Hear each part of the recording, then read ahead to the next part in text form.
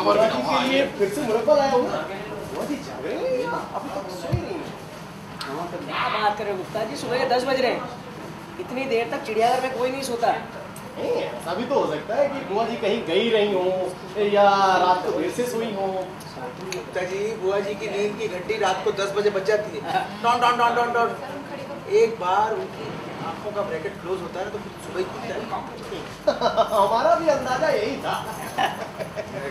लेकिन आज से हम सब देर तक जागना पड़ेगा कल अपने एरिया में चोरी हो गई है। क्या? इस मोहल्ले में चोरी करे है ना? अरे गुप्ता तुम? क्या बात है गुप्ता? तुम्हारा वो मुरब्बा खा के ना हम- मैं रात को बहुत चैन से सोई हूँ। हमारा मुरब्बा? अरे मतलब वही तुम्हारी बीवी का मुरब्बा।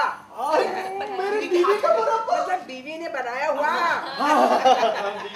मुझे कब दोगे वापस?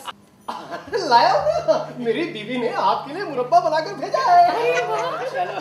कोई नई बात नहीं है। आज वो आज दोपहर में मुरब्बा खा के चैन से सोएँगी। भगवान अगर मुझे दोपहर में नींद आ गई तो नींद में चलवाना मत। दिन दहाड़े नींद में चलूँगी तो सबको पता चल जाएगा।